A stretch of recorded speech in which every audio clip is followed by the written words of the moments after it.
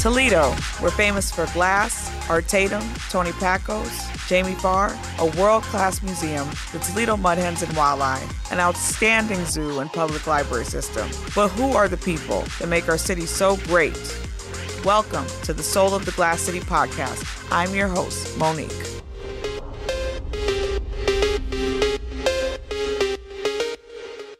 Welcome, everyone. We're here with my special guest, Madam Senator Paula Hicks Hudson, the myth and the legend. Oh my God. Okay? Like, I'm your biggest fan. You just don't know it. Well, thank you for that. But I'm neither myth nor legend. I'm just me. so, we. I mean, this is amazing. Like we we've had a history. We, we mm-hmm. you know you've watched me grow up, Yep. so you know I was just a little girl trying to do fashion shows and writing articles, Yep. and then I'm watching you go from law to politics to becoming our 63rd mayor, first African American female mayor of the city of Toledo. I mean, your story and your um, list of accomplishments are so long. we don't even have enough time for that interview. We don't. That's okay. That's all right. Yeah. So, are you originally from Toledo? I, you know, because I don't know that. Even though I've known you a while, I don't mm-hmm. know that. No, I'm a transplant, but I tell everyone that I we've lived here so long, or I've lived here so long, that this is home. I was born in Hamilton, Ohio, which is a city northwest of Cincinnati. I don't know nothing about Hamilton. So tell me, what makes Hamilton Hamilton? Oh, well, Hamilton, to me, it's like a microcosm of Toledo, where you have neighborhoods and you have a community. When I grew up um, many years ago, it was somewhat segregated. There were certain parts of, we had wards where you could live in, meaning African Americans could live in. Now that's changed. We had two public high schools and then a third Catholic school really uh, football was you know like the although they talk about in the south texas or friday night fights or something that was for us football was a major part of my life growing up my brother played football and things like that so hamilton was home of champion paper i think it was dayton safety uh, the safes and things like that so uh, our Mosler safes were were were built in Hamilton when I was a little kid. That is a lot of unknown history to me, and I'm sure a lot of other people. So, how did your upbringing, you know, inspire who you are today? Well, I grew up. I'm the youngest of eight. You can call it a blended family. That's what they call them now. But I had, and my oldest brother uh, was 16 years older than me.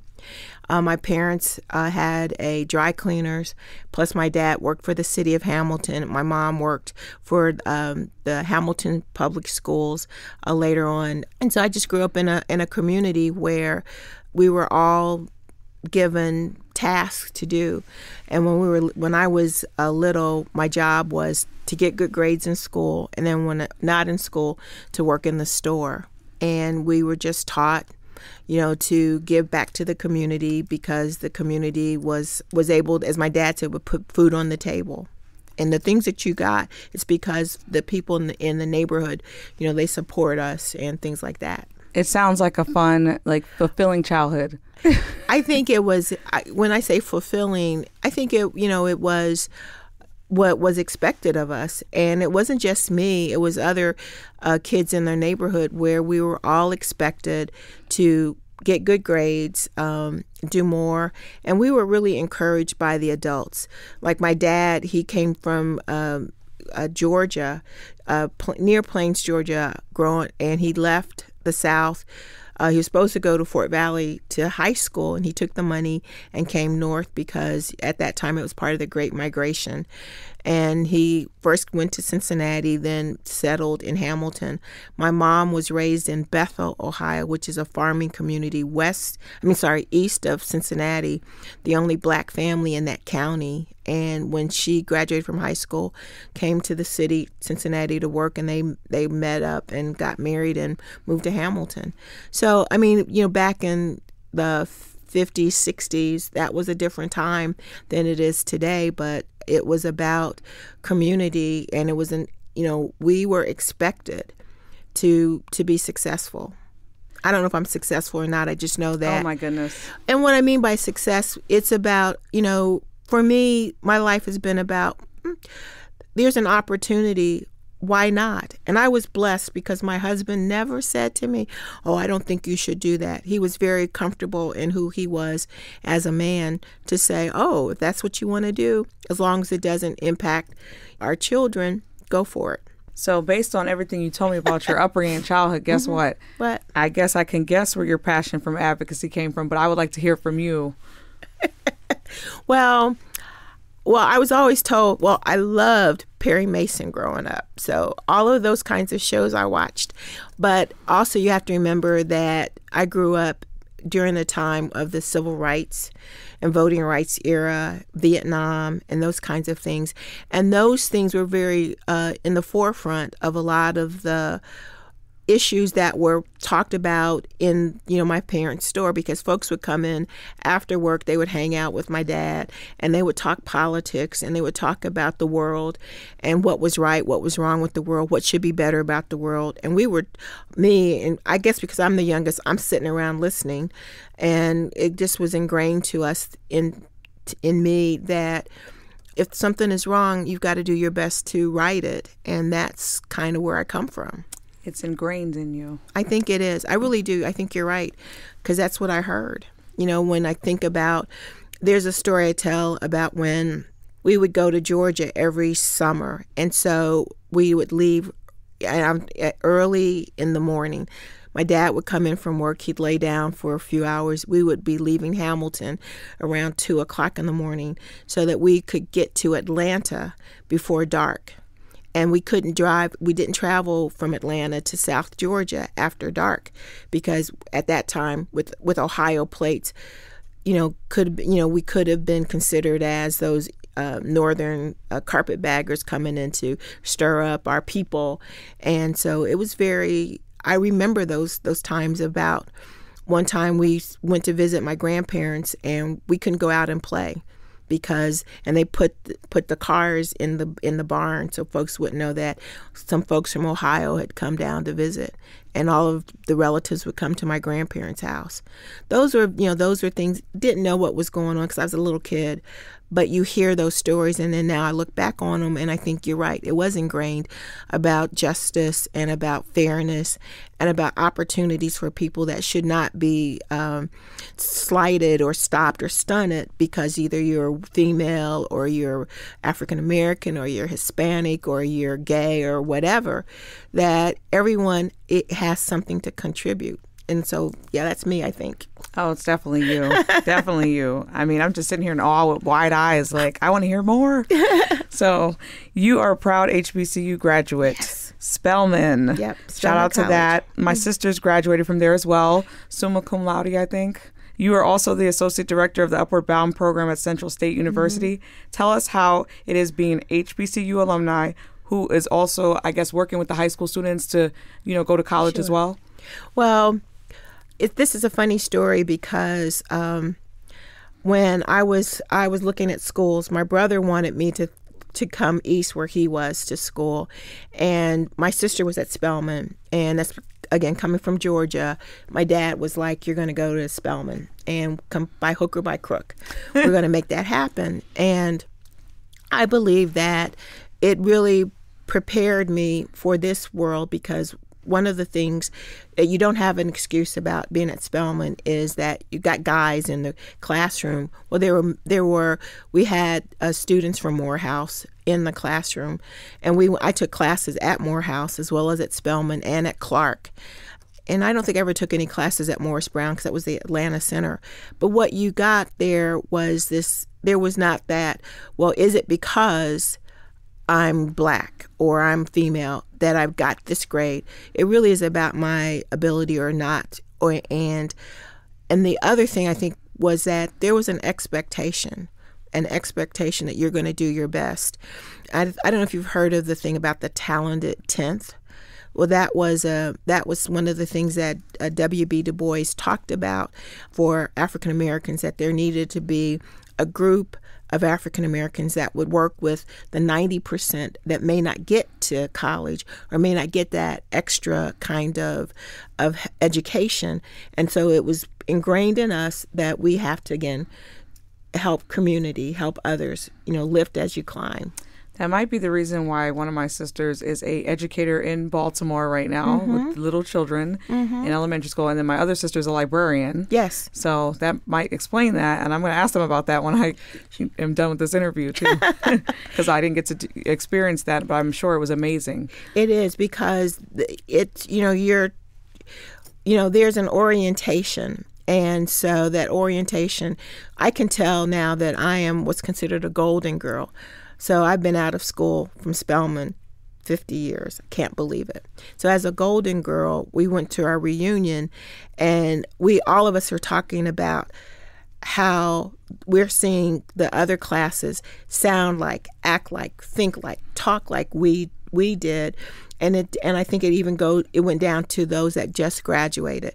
So while there might be changes at Spelman, when I was there, there was no sororities on campus because we were that sorority, that sisterhood, and even with the sororities still on campus now, or now, it's still that sisterhood. Though you can sell a, another Spelmanite just by the way they walk, by the way they carry themselves. I'm like sitting here like I wanted to go to HBCU and then I went the family route. So now I'm thinking like I don't care how old I get, I don't care how many kids I have. I'm going to go at some point because you know they have daycares. I went on a tour with some students from uh, different high schools here when we when they did the Black College tour, and Yeah. I was I, I was like, this is what I was missing. This is it, and they were like, you know, if you want to come back, kids or not, we have daycares on campus. Yes, and I'm like, yeah, I might have to look into that, or I have the pleasure of having teenagers, and I'm gonna go take them Yep. to see if that might be an experience that they would like to, you know, do because I Mm-hmm. didn't get that opportunity yet. I'm gonna say yet. and and that's the thing. They're they're always and and that's that's if you want to say anything about who I am, it is that I dwell in possibilities. I had a good friend, and she we talked about it. So what's possible? If you have life, everything's possible. It may be hard, it may be a challenge, but it's possible. I do If you- believe that. Yep. So dwell in possibilities. And and if you're and if one of the possibilities is for you to go to HBCU, let's make it happen. If you believe, you'll achieve. huh? Absolutely. So that leads me to my next question. if you could talk to your younger self, I know this is so cliche, but I had to ask. If you could talk to your younger self, what would this Paula say to younger Paula that is now into politics?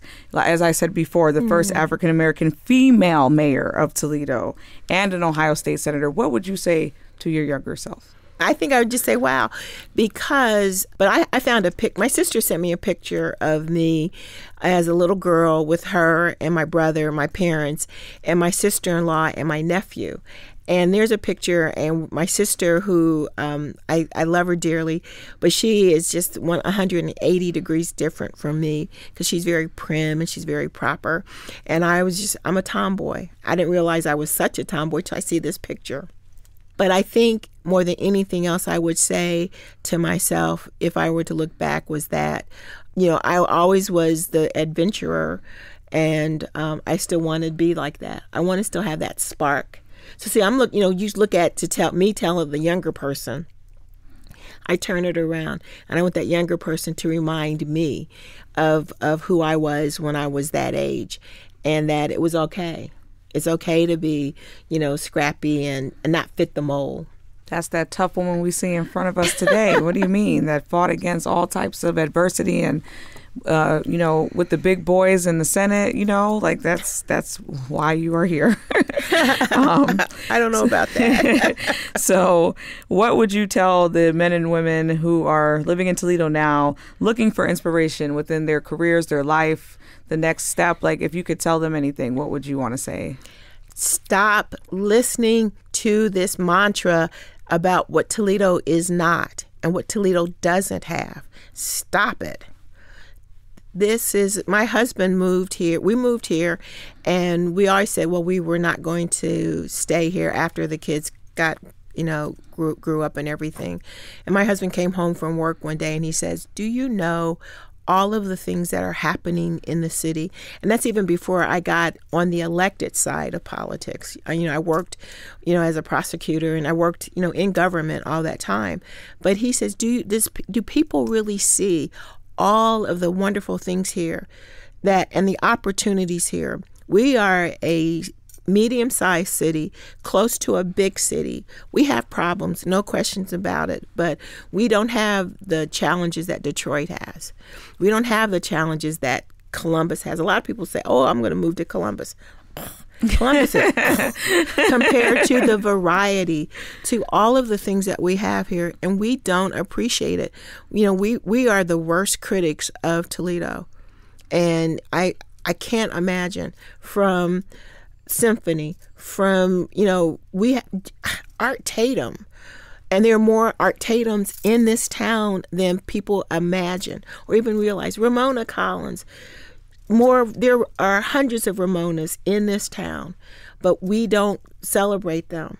There are so there's so much talent, so much wealth here. So that's what I would tell the young men and young women in this town is that look around you and see what gifts you have and what you're able to bring to the table. And don't take it and go someplace else. I hear you. And I'm pretty sure after this wonderful interview that they're going to hear you too. I am so honored and blessed to have you in my life. And I'm my sure pleasure. a lot of people feel the same way. I know you are a great wife, a great mother, outside of just being a great person, period. So I am thankful that you took time out of your day, out of your Columbus office to come here and just bless my show. Thank you so much. Thank you so much.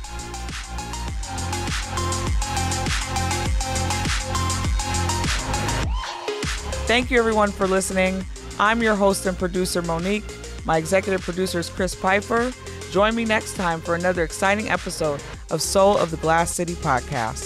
For more information, if you have questions or comments, go to wgte.org slash soul.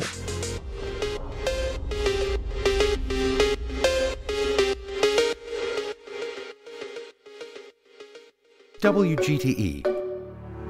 Voices around us.